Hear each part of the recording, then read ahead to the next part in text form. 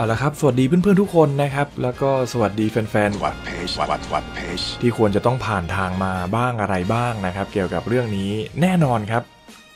One Piece Scoop ที่ควรสกู๊ปในวันนี้เนี่ยเป็นคลิปสั้นๆ ที่ผมควรจะทำตั้งแต่แรก ๆ เลยทีเดียว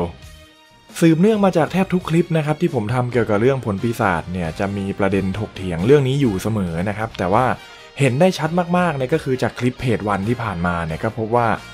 ราวๆ 30%นะครับหรือมากกว่าของจำนวนแฟนวันพีซในบ้านเราเนี่ยมักจะเข้าใจผิดว่า ผู้ใช้พลังพิเศษจากผลปีศาจเนี่ยต้องแพ้น้ำทะเลเท่านั้นนะครับต้องเป็นน้ำเค็มเท่านั้น นอกนั้นเนี่ยคือชนะมาโดยตลอดนะสามารถไปโดดน้ำตกเล่นได้สบายว่ายน้ำแข่งโอลิมปิกกันกลางสระคอลีนได้เลย ซึ่งมันไม่ใช่แน่นอนว่ามีการอธิบายกันในช่องคอมเมนต์หลายครั้งแล้ว แต่ว่าอาจจะยังไม่เคลียร์นะครับ ก็เลยมีการถกเถียงกันไปมาไม่จบสิ้น แล้วก็ เหตุการณ์ในอดีตนะครับเมื่อ 2-3 ปีที่แล้วเนี่ยมันก็ย้อนกลับมาหนึ่งในคอมเมนต์เกี่ยวกับเรื่องนี้ที่ผมค่อนข้างจะช็อกและก็สะเทือนใจก็คือมีคอมเมนต์จำนวนหนึ่งนะครับ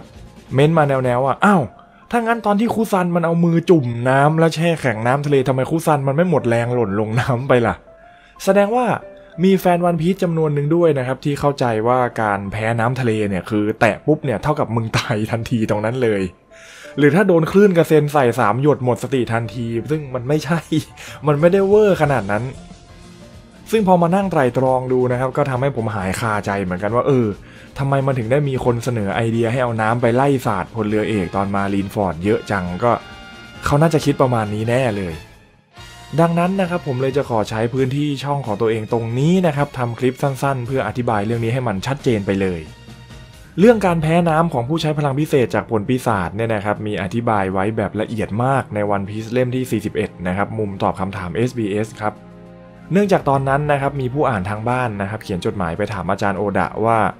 พวกผู้ใช้พลังพิเศษจากผลปีศาจเนี่ยมันอาบน้ำกันยังไงครับ ดูนี่สิข้อโคไดเนี่ยมันแพ้น้ำใช่ไหม เห็นโดนน้ำแล้วไอ้นั่นแข็งขึ้นมาเลยหมายถึงตัว แล้วเขาจะอาบน้ำยังไงครับ และอาจารย์โอดาเองล่ะครับ อาบน้ำไหมอาบอาบอาบอาจารย์แกก็เลยตอบนะครับ ว่าจะขออธิบายเรื่องนี้แบบเข้าใจง่ายจริง ลิงก็ยังรู้เรื่องเลยแล้วกัน คนที่กินผลปีศาจเข้าไปเนี่ยนะครับ จะถูกน้ำทะเลเกลียด ร่างกายเนี่ยจะว่ายน้ำไม่ได้ ซึ่งไม่ใช่แค่ทะเลนะครับ ในที่นี้เนี่ยจะรวมถึงสถานที่ที่มีน้ำขังเป็นแอ่ง เช่น น้ำในแม่น้ำหรือว่าในสระน้ำหรือแม้แต่อ่างอาบน้ำนะครับ ถ้าต้องเข้าไปอยู่ในสถานที่ที่มีน้ำเหล่านั้นเนี่ยพวกผู้มีพลังพิเศษเนี่ยจะไม่สามารถใช้พลังพิเศษได้นะครับ แล้วก็ขยับร่างกายไม่ได้ตามใจคิด ต่อให้พยายามดิ้นรนยังไงเนี่ยก็ไม่เป็นผลนะครับพูดง่าย ๆ ก็คือหมดแรงนั่นแหละ แต่นั่นหมายถึงกรณีที่ร่างกายเนี่ยจมลงไปทั้งตัวนะครับ ถ้าจมน้ำแค่ครึ่งตัวหรือว่าแค่แขนหรือขาที่โดนน้ำเนี่ยอาการมันก็จะเบาลงตามลำดับ ยิ่งถ้าเป็นน้ำที่ไหลหรือว่าตกลงมานะครับ เช่นน้ำฝนหรืออะไรพวกนี้ก็จะไม่มีผลกระทบอะไรเลย ดังนั้นนะครับการอาบน้ำเนี่ยพวกเขาสามารถทำได้สบาย หรือว่าแม้แต่การแช่น้ำในอ่าง คือ ถ้าแช่แบบครึ่งตัวเนี่ยหรือว่านอนแช่แต่ไม่ได้ทะลึ่งดำลงไปในอ่างน้ำน่ะพวกเขาก็ไม่เกิดอาการจะตายให้ได้หรอกครับ ดังนั้นการอาบน้ำนะครับสามารถทำได้ ส่วนกรณีของครอกโคไดนะครับที่มีจุดอ่อนเรื่องน้ำเนี่ยเวลาเขาอาบน้ำเนี่ยก็แค่ทำให้เขาใช้พลังทรายไม่ได้ ก็คืออาบแบบคนปกติไป ซึ่งก็ไม่ใช่ปัญหาใหญ่ เพราะว่าพี่แกเนี่ยคงไม่ทะลึ่งไปอาบน้ำตอนที่ศัตรูลุมเล่นงานอยู่แน่ๆนะครับดังนั้น ใช้พลังพิเศษตอนอาบน้ำไม่ได้เนี่ยก็ไม่เห็นจะเป็นไรจริงไหมส่วนคำถามที่ว่าผมอาบน้ำหรือเปล่านั้น ผมอาบน้ำสองครั้งเลยนะ ต่อปีนะจบนะครับ ได้ยินแล้วใช่ไหม โอเค งั้น สรุปนะครับ ไม่ว่าจะน้ำจืด น้ำเค็ม น้ำอุ่น น้ำนม น้ำต้ม น้ำตื้น หรือว่าน้ำโซดาล็อกเมลเทนกินกับอะไรก็อร่อยก็ตามเนี่ย ถ้ามันจมน้ำย้ำว่าจมน้ำนะครับ แบบตกน้ำตกรถตกเรือนะฮะ หรือจมทะเลนี่ยก็คือว่ายน้ำไม่ได้ครับผม แต่ถ้าแค่อาบน้ำแช่น้ำอะไรเนี่ยทำได้อยู่แล้วนะครับแฮนด์คอกเนี่ยก็ยังเคยอาบน้ำให้เห็นอยู่เลยนะซึ่งผมจะขออธิบายเพิ่มเติมนะครับ เกี่ยวกับลักษณะของการว่ายน้ำไม่ได้ของผู้มีพลังพิเศษเนี่ย มีอธิบายเอาไว้ในวันพี e เล่ม 3 นะครับ ตอนเนื้อเรื่องช่วงแชงคูดกับบาร์กี้ก็คือ เวลาที่จมน้ำเนี่ย ร่างกายของพวกผู้มีพลังพิเศษนะครับ จะอยู่ในสถานะคานาซึจินะครับโดยคำว่าคานาซึจิที่เขียนเป็นคาตาคานะแบบนี้นะครับ เป็นคำแสลงที่มีความหมายว่าคนที่ว่ายน้ำไม่เป็นนะครับ เหตุผลที่ต้องเขียนด้วยคาตาคานะก็เพราะว่าความหมายตรงตัวของคำว่าคานาซึจิที่เขียนด้วยคันจิเนี่ย มันจะแปลว่าค้อนนั่นเองครับค้อนที่ใช้ตอกตะปูนั่นแหละครับ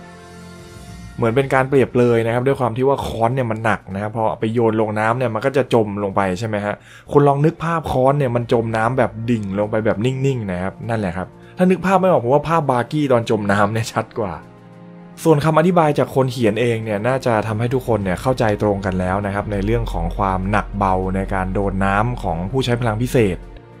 เรื่องการแช่น้ำแค่ครึ่งตัว หรือว่าแขนจุ่มน้ำขาจุ่มน้ำนะครับว่ามันมีผลเหมือนกันแต่ว่า ไม่ได้ทำให้ต้องช็อกหมดสติอะไรเบอร์นั้น อย่างเช่นในภาคอาราบัสตานะครับที่น้ำมันท่วมเข้ามาจนเลยครึ่งตัวของลูฟี่ไป ลูฟี่เนี่ยก็ยังพูดกับเพื่อนได้อยู่นะครับว่าอะสติฉันเริ่มจะไปแล้วล่ะอะไรแบบนี้หรือว่าในภาคเกาะเงือกนะครับ ตอนที่น้ำท่วมเข้ามาในปราสาทริวงูเนี่ยบลูคเนี่ยมันจมน้ำลงไปครึ่งแข้งนะครับมันก็เลยบอกคุณสตาร์คผมรู้สึกไม่ค่อยสบายอะไรประมาณนั้น ดังนั้นนะครับก็ต้องขอจบเรื่องราวสั้นๆ ของผู้ใช้พลังพิเศษจากผลปีศาจแพ้น้ำประเภทไหนบ้างไว้แต่เพียงเท่านี้นะครับ ขอบคุณทุกคนมาก ๆ ที่อยู่จนถึงจุดๆนี้นะครับ แล้วก็สุดท้ายนี้เนี่ยขอฝากไว้เรื่องหนึ่งครับ ขอพูดนอกเรื่องหน่อย ฉันขอพูดตรงๆนะ ก็คือขอความกรุณาจากแฟน One Piece นะครับ ที่อาจจะมาคอมเมนต์อย่างเมามัน แล้วก็มีสกิลนิ้วที่อาจจะรุนแรงไปหน่อยว่า เวลาที่มีคลิปที่เกี่ยวกับการอธิบายหรือว่าแนะนำเรื่องอะไรเนี่ยนะครับ ไม่จำเป็นต้องไปคอมเมนต์ในแนวที่ว่าด่าคนอื่นโง่แบบหนักข้อขนาดนั้นคือ ผมบอกเลยว่ามันค่อนข้างจะน่ารำคาญนะครับ แล้วก็รู้สึกดีกันไหมครับ เวลาที่ทำแบบนั้น คือผมเห็นแล้วผมรู้สึกแย่นะ พวกคอมเมนต์ประเภทที่ว่าไอ้พวกนั้นมันโง่จังว่ะเรื่องแค่นี้ก็ไม่รู้อะนี่ถึงกับต้องมาทำคลิปแบบนี้มาบอกพวกโง่ๆเลยเหรอเนี่ยอุ้ยแฟนวันพีชบางส่วนนี่โง่จริง ๆ เรื่องพวกนี้เขาต้องรู้กันนานแล้วปะเนี่ยแหละครับ เม้นท์พวกนี้เนี่ยแหละครับที่มันเป็นอะไรที่ toxicมากๆ แถมผมคิดว่าเขายังไม่รู้ตัวเองกันด้วยนะน่ะอย่างเช่นคลิปการตั้งค่าหัวนะครับที่ผมทำมาเพื่ออธิบายเนี่ยเพราะว่ายังไม่เคยทำคลิปแบบนั้นมาก่อน ก็จะมีบุคคลประเภทเฮ้ยเคยลงคลิปแบบนี้ไปแล้วนี่ว่า พวกง่ไม่เคยดูกันเลยเขาถึงได้มาทำซ้ำๆเข้าไปดูที่ไหนมาวะนะผมเป็นคนทำคลิปเองผมยังเพิ่งเคยดู ผมยังผมเป็นคนทำคลิปเองผมยังเพิ่งรู้ว่าเฮ้ยกูเคยทำมาก่อนตอนไหน หรือเม้นจำพวกแบบโอ้สงสารพี่จังเลยต้องมาทำอธิบายอะไรเรื่องนี้ให้พวกโง่ๆดูพวกผมรู้กันมานานแล้วใครก็รู้ปะฮะ คุณรู้แล้วเหรอโห เก่งมากครับผมไอเรื่องการตั้งค่าหัวเพราะเป็นลูกน้องคนดังเนี่ย ผมเพิ่งรู้เมื่อตอนที่เล่ม 91 มันบอกนั่นแหละพวกเขาเก่งนะเขารู้มานานกว่านั้น แต่ว่าทั้งหมดก็ไม่ใช่เหตุผลที่จะมาคอมเมนต์ถมถุยคนอื่นหนักขนาดนั้น ผมก็เลยจะขอพูดปรามพวกเขาเหล่านี้หน่อยนะครับ คือเข้าใจครับว่าแบบวัยรุ่นเลือดมันร้อนอย่าห้ามพี่ไอ้น้องอะไรเงี้ยแต่ แต่ในอนาคตถ้าผ่านไปทักสี่ซ้าห้าปีเนี่ยวุฒิภาวะอาจจะเริ่มเยอะขึ้นอยากให้ลองย้อนกลับไปดูคอมเมนต์ตัวเองดูนะอาจจะเขินๆหรือเปล่าก็ไม่รู้นะ ดังนั้นนะครับผมถึงขอพูดหน่อยว่าบางคลิปเนี่ยที่ผมทำมาเพื่ออธิบายประเด็นที่คนมักจะเข้าใจผิดบ่อยๆ เกี่ยวกับเรื่องในวันพีชเนี่ยผมทำมาก็เพราะว่าต้องการจะอธิบายหรือว่าไขข้อข้องใจตามนั้นเลยครับ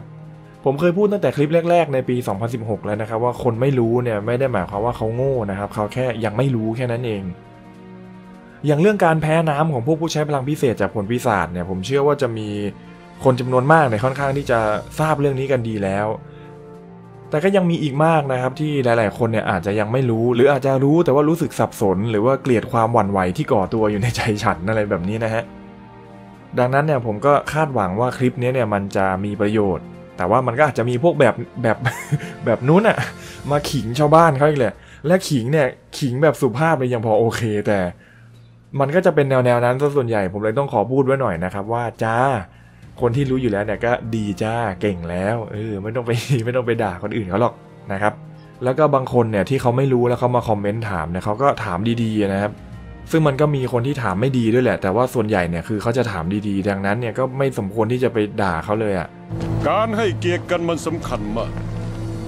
ไม่งั้นก็จะเป็นแค่คนธรรมดา คนกากากๆทั่วไป ขอโทษครับ ก็ขอโทษเป็นอย่างสูงเลยนะครับ ที่พูดอะไรไม่เข้าเรื่องในช่วงท้ายคลิป แต่ว่าถ้าไม่พูดเดี๋ยวก็เป็นเรื่องอีก ผมไม่สบายใจเวลาที่เห็น toxic ในช่องมันเพิ่มขึ้นนะครับ ผมถึงได้ทำพวกคลิปเกี่ยวกับ One Piece เนี่ยแบบนานๆถี่ก็เพราะอย่างนี้แหละครับ ไว้แบบสุขภาพจิตผมเนี่ยพร้อมรับอะไรแบบนั้น ถึงจะทำคลิปมาลงนะครับไม่งั้นไม่ไหวจริง ๆ นะครับ สุดท้ายนี้ก็ขอลาไปก่อนนะครับ เอาไว้เจอกันใหม่โอกาสหน้าครับผมสานีฝันดีครับ